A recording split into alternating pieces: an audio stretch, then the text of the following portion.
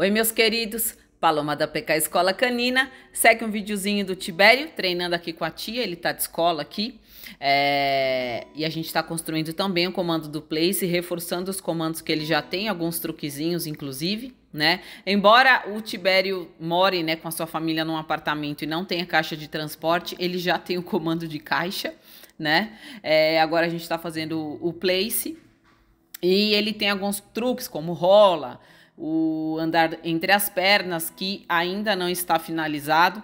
Eu treinei só um pouquinho com ele, como ele é bem agitado, ele está fazendo ainda na indução, mas ele estava com o corpo muito baixo é, nesse treino. Então, é, eu quero ele um pouquinho mais alto, mais posturado para fazer esse exercício. Então, eu dei continuidade nos outros e amanhã a gente pega firme só nesse nesse truquezinho.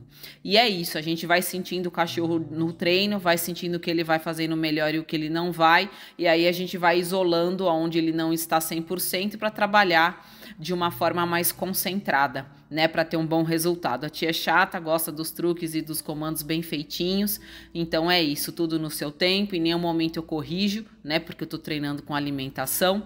Então a tia gosta de trabalhar sempre de uma forma lúdica, divertida, num curto período de tempo, né, de treino, mas que seja sempre prazeroso e fique com gostinho de quero mais pro cachorro. Certo, meus queridos? Então, simbora acompanhar a evolução desses peludos. Um beijo e até o próximo vídeo.